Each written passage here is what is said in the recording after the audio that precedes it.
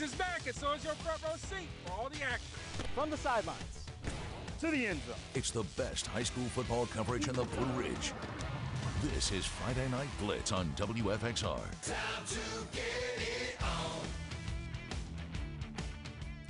Ah, yes. Good evening, everyone. I'm Jermaine Ferrell. Hoping your day is wonderful and blessed. Time now for the start of our seventh season of Friday Night Blitz, and we kick off the action with our game of the week.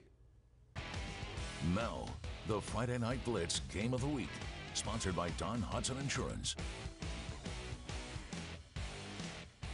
Well, our first Friday Night Blitz game of the week on the season takes us to Daleville as the Lord Botetourt Cavaliers hosting the EC Glass Hilltoppers. These two teams opened up the season last year at City Stadium with Glass winning a shootout over LB 41 to 30. A lot is expected from both teams this season. So the Cavaliers stay we go, the place to be. This game was delayed by weather for about 30 minutes on the start. But Glass shows that they were ready to play tonight. How about George White at the 20, hooking up with Lavarius Gilbert? Nice catch in the zone. That's a touchdown. Glass goes up 7 0. Later, Glass with the ball right back, and it is the quarterback G Dub, George White.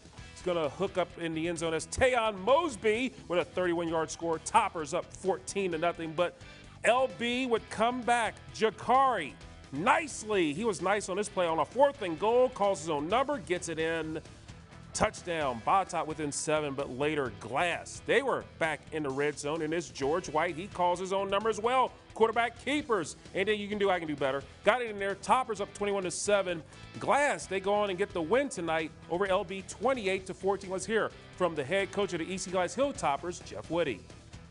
Up front, uh, those defensive linemen did a good job of, of, facing a really good offensive line. We got the push, and we got speed on defense on the outside, and we were able to fly to the football. Now, nicely, um, and he found the lane several times, but he was never able to break it wide open.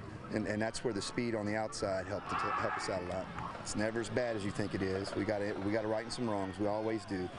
Um, I thought we played well. I thought we played with a lot of effort. We did make some mistakes, but we'll fix those. We got a good coaching staff. Uh, they did a great job tonight. Kids did a great job tonight. All I did was sit back and watch. Meanwhile, we have another seminal Blue Ridge District battle. William Fleming Colonels visiting the Heritage Pioneers City Stadium in Lynchburg. Heritage with the ball. Jasir Bateman takes it and hands it off to Rashawn Booker-Felder. Takes it into the house. Pioneers take the 7 0 lead. Tied at 7. And there's the Heritage Pioneer vehicle. It gets good gas mileage nowadays. How about Zach Steele takes it into the house, putting the Pioneers up 13 to 7. But then Fleming's Devin Johnson to Lewis English, my favorite class, takes it into the house. It's 14 to 13. Fleming in the first, but Heritage will get a late touchdown in the fourth to pull out the 32-28 win over Fleming. Meanwhile, back to Roanoke and energetic crowd on hand for this one. As it was Toga night, Patrick Henry Patriots hosting the Brookville Bees. Weather delayed this game for about 50 minutes, but it was a slow start for both teams. Scoreless at the start of the second when Drake McDaniel, D-Mac quarterback keeper, touchdown, bees up seven to nothing. Later in the quarter, watch this play right here, one of the plays of the night. And there he is, yeah, Drake McDaniel's happy. How about the block punch recovered by none other than Drake McDaniel does it on all ends. Touchdown, Brookville goes up 14 0 but the Patriots, they have a response on the ensuing kickoff. There's a reason why we show kickoffs because of plays like this. How about Quali Carter, the junior, acting like a singer. The need for speed, find the hole. He makes a cut. The bigger the cuts, the bigger the rhyme. Takes it in to the house. PH's first score of the season on special teams, but Brookville will have to go on and hold off Patrick Henry tonight. Says they get the win. Jonathan Meeks' crew does it there, 35 to 27. Southwest Roanoke County, the battle for Bogle Cave Spring taking on Hidden Valley. Weather, stop me if you heard this before, delayed the start of this game for 30 minutes. The Knights defense making the highlight reel in the second half. Cave already up 21 0. Owen Sweeney takes it down. The Titans into that end zone, forcing the safety, put the Cave Spring Knights up 23 to zip.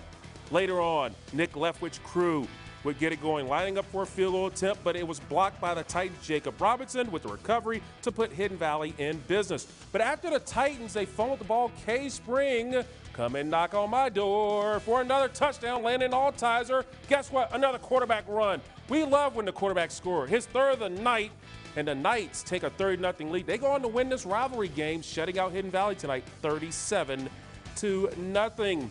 Coming up on Friday Night Blitz in the opening week, we head over to North Cross for a playoff rematch. The Raiders this off season.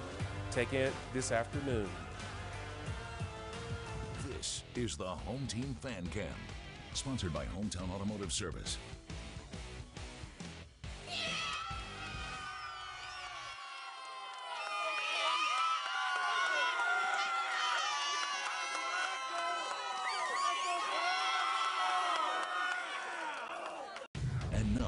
Back to the Blitz. Friday Night Blitz on WFXR.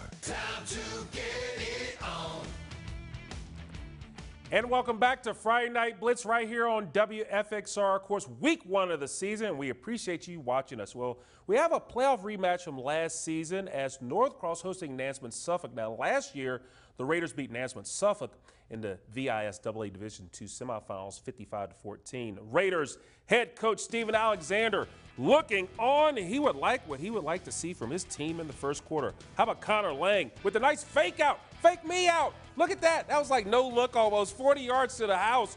Raiders go up six to nothing after the miss extra point. But then it is Lang. He's going to go to the air, hook up with Ian. Yes, I can with a touchdown. It's 12 nothing North Cross.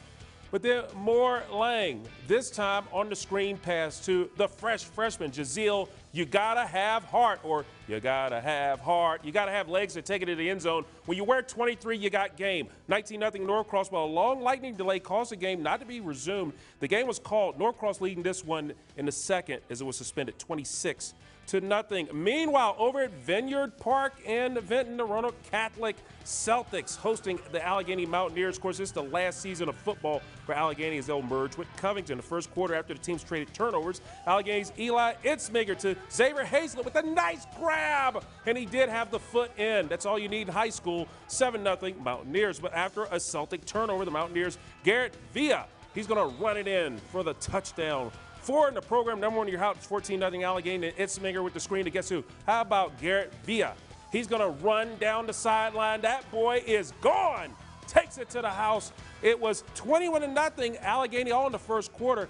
Allegheny opens up the season with a 40 to 12 win over Roanoke Catholic. Let's go down to the New River Valley I-81 Blacksburg. Its annual season opening meeting between the Bruins and Giles Spartans. Game was delayed nearly 90 minutes due to weather third play of the first possession of this ball game was so nice, we're going to let it breathe a little bit. Blacksburg Spencer Campbell is going to make the nice short pass to Carter Ackerman, who is going to do the rest. 60 yards to the zone. The Bruins take a 7 0 lead. Not to be outdone, though. Giles with the single wing. That's all they do in Giles. They run the single wing to perfection. That's why they're one of the best teams in our area as you're going to see the direct snap to Khalik Saunders, who takes it in. The game was tied at seven. Right now, it's in the fourth quarter, and it is Giles leading Blacksburg by a score of 28 to 14. Meanwhile, last night in the New River Valley area, the 83rd meeting between Radford and George Wythe. First quarter, first play of the game, George Wythe Ben Jolly, and he was jolly here. He's just, no, get off me. Get off me, son. I can run hard. And that's a nice run brought down to the 35. And then Ben Jolly, a few plays later, is going to call his own number in the red zone, takes it to the house. The Maroons, maybe we call it the Maroon Zone, six to nothing lead. Now the Bobcats first was a quarterback Landon Clark. It's like a stiff arm festival. One stiff arm, two stiff arms. Can I get a third stiff arm? Uh, around. Yes, I'm gonna move around, and I think I do get a third stiff arm. I got it in there picking up a few yards. But the next play, P squared Parker Prioleau. His dad was a great player, running like his dad used to back in the day at Virginia Tech and Radford, all those schools. Look at the stiff arm there. He says, Landon, hey, I got your stiff arm. Touchdown, the extra point. Radford goes up 7 to 6. The Bobcats, they get the W tonight, 29 to 15. It's time for the Friday Night Blitz Player of the Week, sponsored by Tater Benson of MKB Realtors. Now, at this time of the show, we will have our player of the week. Of course, Ryan Moy, he's going to shine the spotlight on our top player. And we had so many candidates to choose from. It's going to be a tough choice. But you can check out our first player of the week. That'll be coming up next week on Friday Night Blitz. Up next on Friday Night Blitz, we have our play of the night plus some mothers. They get a taste of what their kids go through on a Friday night. And now, the Macadit Play of the Night sponsored by McAdoo's. I tell you what, Macca did it, Parker Prioleau.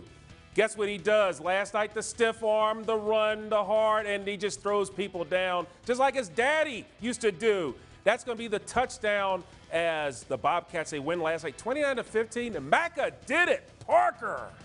So good job right there. And of course, each and every week we'll have those plays of the night. Well, we want to get a look at a few of the games that we went final. We weren't able to make it out there tonight, but it's okay because we got you covered with the score. So we're going to check those out right here. You see that it is a good matchup there. Galax winning over Glenvar 27 to 20 in that matchup. So a battle of the G's ain't nothing but a G thing. Carroll County as uh, they win big over Patrick County 56 to 25. Also on the scoreboard, it is a good battle. Rockbridge County two points better than Parry McCluer in that battle between Buena Vista and Lexington. Rockbridge by two. Meanwhile, the Liberty Christian Academy with the big win over Magna Vista, shutting them out 40 to nothing. The final in that matchup. Well, guess what? Football moms, they are an invaluable part of high school players' life. Now, a few of those moms in Washington, Illinois got their moment in the sun this week. Video of mothers tackling their football playing sons during the school's annual Mom's Night designed to get mothers to play football. Now, to get them more acquainted with the game now, the table had a laugh as a footage rolled of at least four mothers dressed in their helmets and shoulder pads taking turns tackling their own football playing sons who stood in front of a large mat in full gear. Look at this one. This is probably my favorite. Boom! That reminded me of Waterboy when uh, Adam Sandler's mom, Kathy Bates, made the tackle. Well, with the Virginia Tech Hokies football team kicking off the season a week from tonight down in Norfolk at Old Dominion this afternoon, head football coach Brent Pry took time out of his schedule as the guest speaker of the Roanoke Valley Hokie Club's annual kickoff luncheon at the Hidden Valley Country Club. Now, for Coach Pry, he has spent a lot of the time crisscrossing the state to rebuild relationships with Hokie Nation. Yeah, I'm going to tell you, the Hokie Club is so important to what we do. And so it's an honor and a privilege to come here and, and, break bread with them and share a little bit about what's going on with our team and shake a bunch of hands and take photos. It's important they know how much we appreciate them. Now, coming up on September 9th, the Roanoke Valley Hokie Club will have former defensive coordinator Bud Foster speaking to the club right then and there. And coming up next week, we will have our Friday our edition of WFXR Sports Countdown to kickoff as the WFXR Sports team gets you ready for the 2020 college football season. Join myself, David Guzman, Ryan Moy. That's coming up next Wednesday, 5:30, only on WFXR. Well, it does it for this edition of Friday Night Blitz, week one of the regular season. We'll have this show on WFXRTV.com momentarily. So we want to thank you guys for watching our show. I'm Jermaine Ferrell. Hope all of your teams are winners. Have a wonderful and blessed night and weekend, everybody.